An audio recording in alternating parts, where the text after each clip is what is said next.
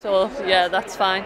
Obviously, I know I'm the, the oldest here. Um, yeah, it's kind of it's been a been a mad few weeks. Obviously, trying to get fit and, and stuff like that. But really looking forward to another tournament. You've been to many tournaments. Yeah. What's the vibe around this one?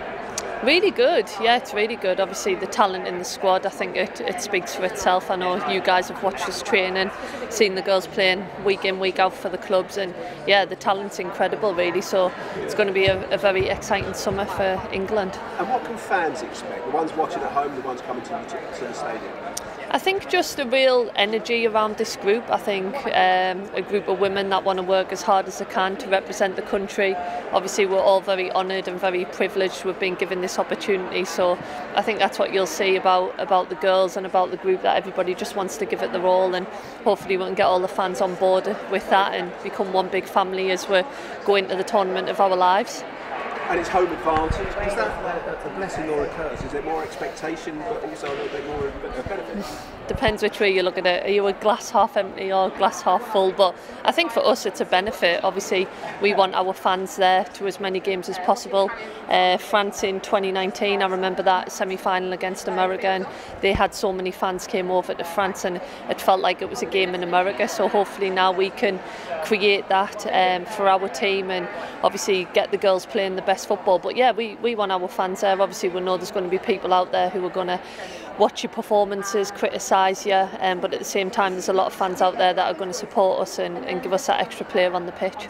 And do you feel how much? Can you can you tell how much the game has grown in the period just in, you've been? Oh yeah, massively. I think I've spoke about the journey of women's football a lot, and I think it's there for everyone to see.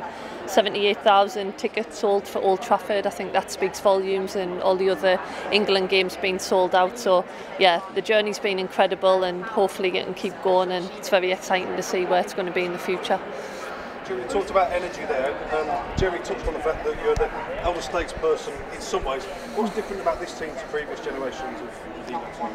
I think we've always had a real kind of DNA about being hardworking, uh, being good people, and all getting on as a group. Um, I wouldn't say it's different with this team, but I think there's a the technical ability in this team is is incredible, and I think that's something that we've seen a massive rise in over the past few years. Obviously, club teams being more supported, being able to train more.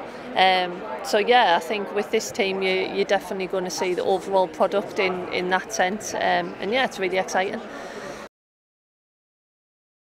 Yeah, it's, it's really exciting. I think obviously today is, you know, gets you kind of in the mood for it, makes you realise what's going on and how big this home Euros is going to be, and it's one that I think everyone is really excited for. You mentioned it's the home Euros. Is that a good thing? Is it a bad thing? Is it more pressure? I think it's a great thing. I think for us, it, it you know increases excitement for us uh, for us being here. And hopefully you know it can help grow the, the women's game even bigger in this country more than it has done already. So yeah I mean I'm, I'm really excited. I, I can't wait to get going. I can't wait to get out of Old Trafford.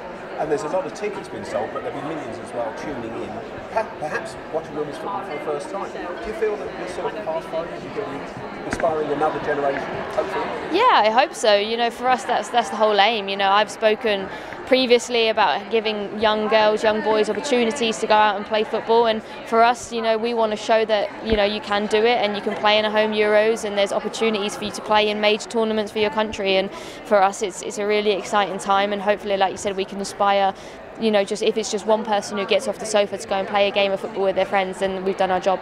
And tell us about Sarina. What she brought to the squad. Yeah, I mean, she's been great. She's really brought this togetherness in the squad. She makes everyone feel, you know, like they're respected and that their voices are heard.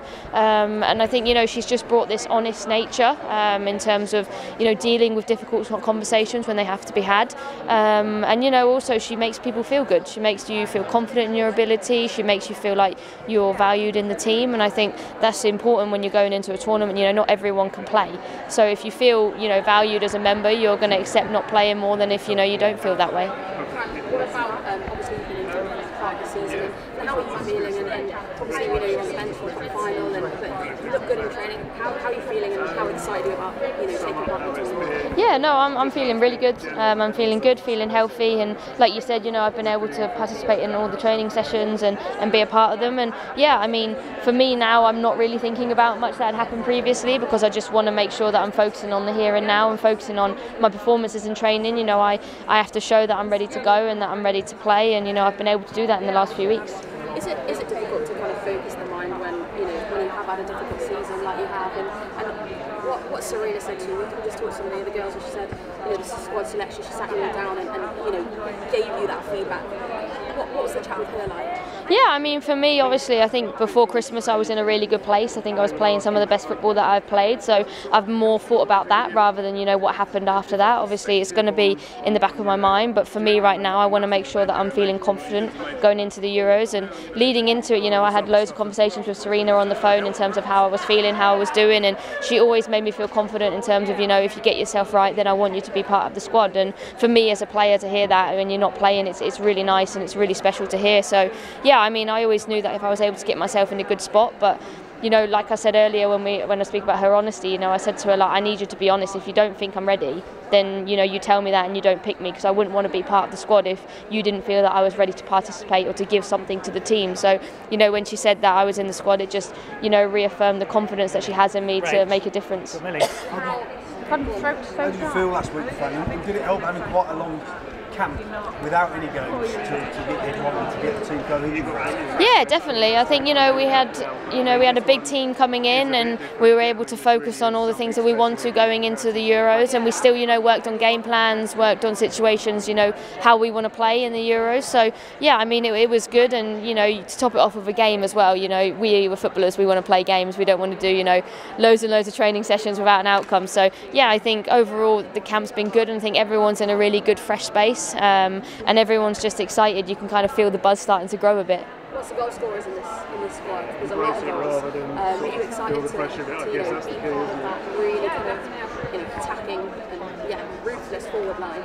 Yeah, definitely. I think also, you know, to win tournaments, you have to score goals. You know, you have to keep clean sheets and score goals. So for us, it's a really exciting team to be a part of. And you know, uh, previous tournaments I've, I've got to semi-finals, so I'm hoping now we can go one better and get to that final. Um, but yeah, I mean, it's a really exciting group of players. Um, but you know, for me, it's not a case of you know what players you have written down on a team sheet. I think it's who shows up on the day and who's ready to perform at that level and, and give their all. So for me, I don't read too much into you know our England are the favourites, England this because I know how difficult these tournaments are, are and you, and I know how close the gaps are. Um, so yeah, I mean everyone is in a good space, but we need to make sure that everyone's ready to give 100% when it comes. Just on a team, you're obviously Nick Lombardo, she's obviously playing in the tournament as well. What attributes does she bring as a player? How, how dangerous could she be at this tournament? Yeah, I mean, Pernille is a world class player, there's absolutely no doubt. She's strong, she's physical, um, she's got an absolute power shot. You know when she when she really goes for it. Um, so yeah, I mean, she, she, you know she just lights up tournaments like this. She's a big game player, and you know we need to make sure that if we come up against her, that we can shut her down quickly and don't allow her the space to drive and to get shots off because you know she can be so dangerous.